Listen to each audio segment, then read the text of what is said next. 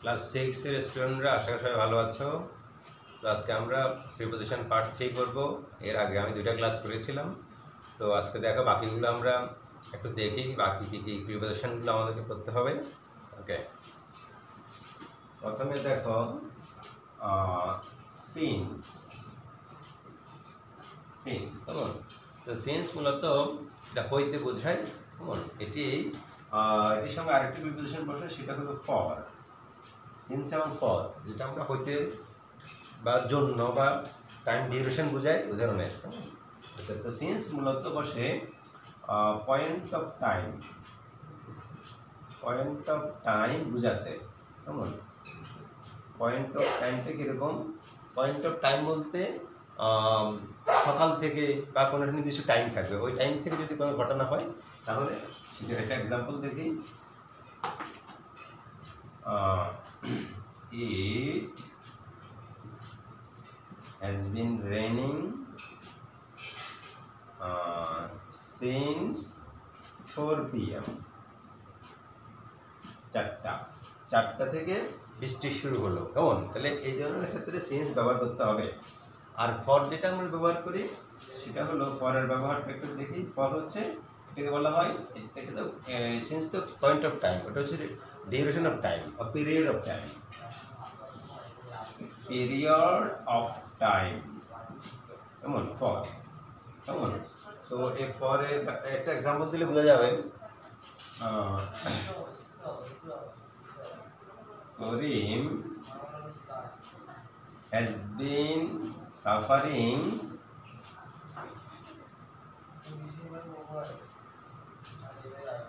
from fever for seven days.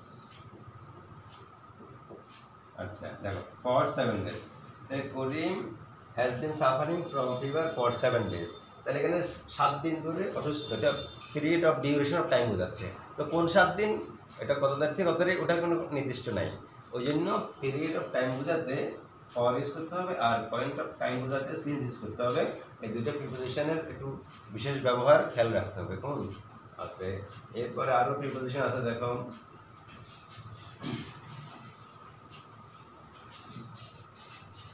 আচ্ছা এরপরে আমরা দেখি উই।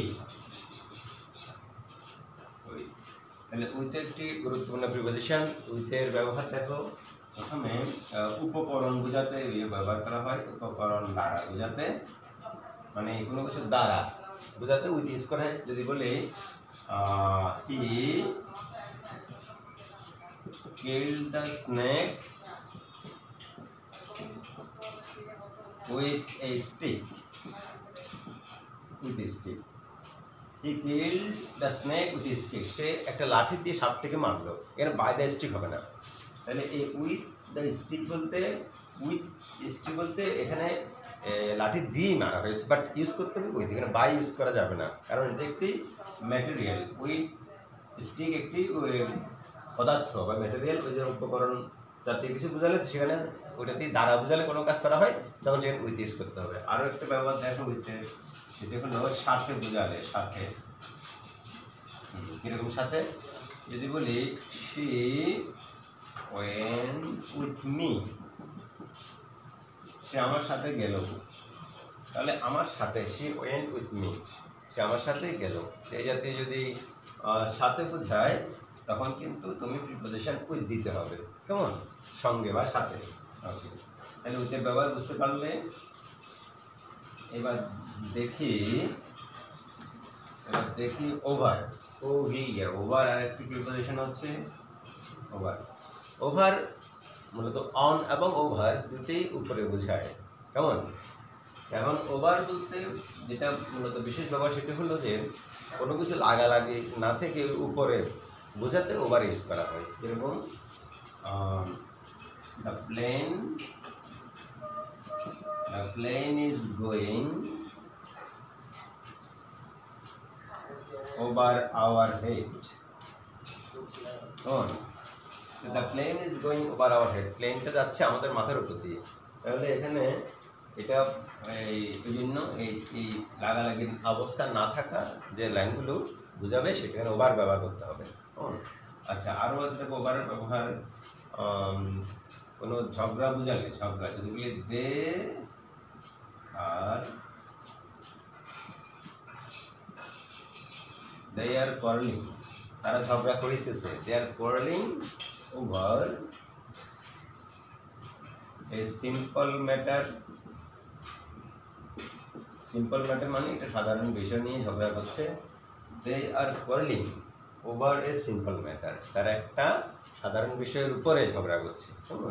ওকে তাহলে ঝগড়া বুঝালে সেখানে ওভার দিয়ে লিখতে হবে। কেমন? আচ্ছা এবার আরেকটি পাওয়ার আছে ওভারে সেটা হলো ফোন ফোনে আমরা যখন কথা বলি ওভার ফোন ইউজ করি।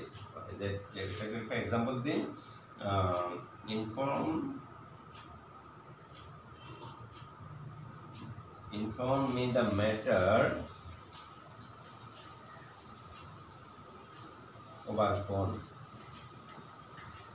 এটা হচ্ছে আমাকে বিষয়টা ফোনের মাধ্যমে জানাবে। Inform me the matter over phone তাহলে ওভারের তিনটে ব্যবহার দেখলাম। একটা হলো লাগালাগি না থেকে উপরে।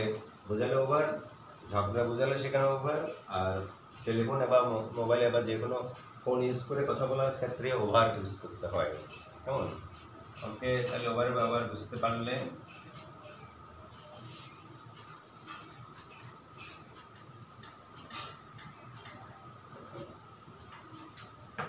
এরপরে দেখি আন্ডার আর একটু কি হচ্ছে under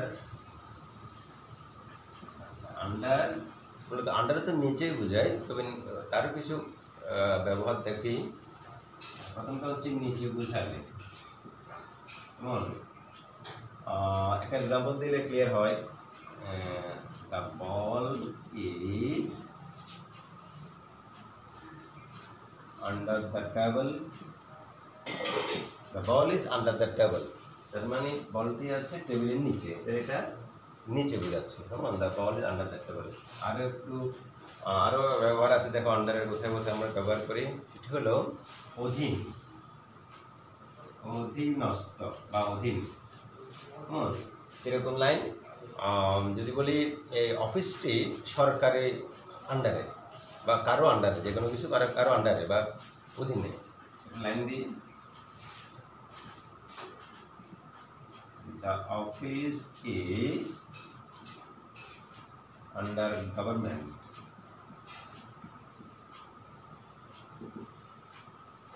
The office is under government. মানে এই অফিসটি গভর্নমেন্ট সরকারের অধীন বা সরকার নিয়ন্ত্রণ করে বা চালায়। তাহলে the office is under government এরপর আরেকটা আছে আন্ডারের ব্যবহার, সেটা হলো বিবেচনাধীন থাকা। তোমার বিষয়টা আমি বিবেচনা করে দেখছি। আন্ডার এরকম বিবেচনাধীন বিবেচনাধীন বুঝালে example the your application your application is under consideration. Okay লেখা যাচ্ছে পরিষ্কারভাবে your application is under consideration মানে কেউ যদি অ্যাপ্লিকেশন বা দরখাস্ত করে কোনো কিছুর জন্য, সেটিকে বিবেচনাধীন বলা হচ্ছে। যে তোমার দরখাস্তটি বিবেচনাধীন আছে, এটা কাজ হতে পারে। ইজ আন্ডার কনসিডারেশন কেমন? তাহলে আন্ডারের তিনটি ব্যবহার তোমরা বুঝতে পারলে, কেমন? ওকে, এরপরে আরও আছে দেখো প্রিপোজিশন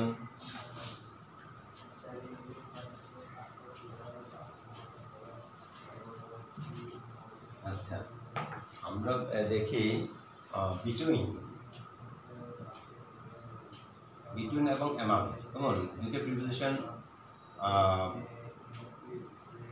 কনফিউজ হয়ে যায়। দেখো বিটুইন এবং অ্যামাউন্ট এই দুটি প্রিপোজিশন বসে দুইটা বিভিন্ন জায়গায়। একটু বিটুইন বলতে দুইটি ব্যক্তি বা কোনো বিষয়ের মধ্যে কোনো কিছু বন্টন করা, বোঝালে, ভাগ করা, বোঝালে বিটুইন বসে আর দুইয়ের বেশি এর যতটুকু হতে পারে তত বেশি, দুইয়ের বেশি বোঝালে, তখন বন্টন করার ক্ষেত্রে অ্যামাউন্ট ইউজ করতে হয় কেমন লাইন দেখলে বোঝা যাবে আচ্ছা যদি বলি distribute distribute the apple between between the two boys আচ্ছা distribute the apple between the two boys মানে দুইজন বালকের বা ছেলের মধ্যে এই আপেলটি ভাগ করে দেওয়া হোক বা ভাগ করে দাও তাহলে এখানে দুজন যেহেতু আমার পার্সন আছে, তাই এখানে বিটুইন ইউজ করতে হবে। কেমন? আর যদি আমি এই অ্যামাউন্ট ইউজ করতে চাই, তাহলে এখানে দুই জন হবে না, দুইয়ের বেশি ব্যক্তি লাগবে। কেউ দেখি? Distribute the apple among the three boys. তাহলে দেখা যাচ্ছে যে distribute the apple among the three boys এখানে কিন্তু দুইয়ের বেশি দিয়েছে এবং থ্রি টু থেকে যত বেশি হতে পারে three four five six hundred one thousand যত, সবগুলো এই অ্যামাউন্ট দিয়ে ইউজ করতে হবে। কেমন? যদি দুইয়ের বেশি পার্সন বা কোনো বিষয়ের মধ্যে কোনো কিছু বন্টন করা বোঝাবে তাহলে বিটুইন হবে দুজন ব্যক্তির মধ্যে বা দুটি বিষয়ের মধ্যে কোনো কিছু বন্টন বোঝালে আর দুইয়ের বেশি হলে সেখানে অ্যামাউন্ট প্রিপোজিশন তোমাকে ইউজ করতে হবে, সেটি তাহলে এটা গ্রামার গ্রামার ভুল হবে, কেমন? ওকে এরপরে যাচ্ছে আরেকটা প্রিপোজিশন দেখি। সেটা হলো থ্রো থ্রোটা কীরকম? থ্রো আচ্ছা থ্রো মানে হচ্ছে মধ্য দিয়ে T H R G H through আরেকটা থ্রো হচ্ছে টিএচ আর ডব্লিউ থ্রো এটা কিন্তু ভার, এটা ওই- ওটা নয়, এটা T H R U G H through যে প্রিপোজিশন যেটা, সেটা হলো টিএচ আর ইউ জিএস এটার বাংলা তো হচ্ছে মধ্য দিয়ে, কীরকম মধ্য দিয়ে মানে কোনো কিছুর ভেতর দিয়ে যাওয়া বা কোনো কিছু করা লাইনের এক্সাম্পল ক্লিয়ার হবে she went went through the field okay তাহলে ওয়েন থ্রু লাইনটা বোঝা যাচ্ছে she went through the field সে মাঠের মাঝখান দিয়ে হেঁটে গেল বা মাঠ দিয়ে হেঁটে গেল।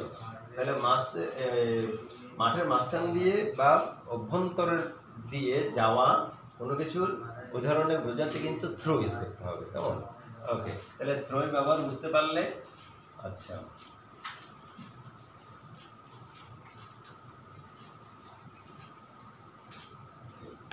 মোটামুটি এই ছিল, মোটামুটি ইম্পর্টেন্ট প্রিপোজিশনগুলোর মধ্যে বাকিগুলো। তো আজকে আমরা পার্ট থ্রিতে কিছু প্রিপোজিশন বুঝতে পারলাম, কোথায় ইংরেজি লাইনগুলোতে ব্যবহার করতে হবে। আর পরবর্তী ক্লাসে আমি কিছু এক্সারসাইজ তোমাদেরকে করাবো। মানে এতদিন যেগুলো করালাম পার্ট ওয়ান টু থ্রিতে সবগুলো প্রিপোজিশনেরই কিছু gap filling gap filling exercise করাবো। তখন সবগুলোই তোমাদের একটু রিভাইজ হয়ে যাবে। তো এর মধ্যে তোমরা এই রুলসগুলো বা ব্যবহারগুলো একটু দেখে নাও, বুঝে নাও। তাহলে যখন প্র্যাকটিস করাবো ওই দিন তোমরা খুব ইজিলি এগুলো গ্যাপে প্রিপোজিশনগুলো সেট করতে পারবে। তখন ইউজ যদি না জানা যায় কোন- প্রিপোজিশন কোথায় ব্যবহার করা হয়, তাহলে কিন্তু সেগুলো মানে গ্যাপ ফিলিংয়ে বা আনসার লিখতে প্রবলেম হয়ে যাবে।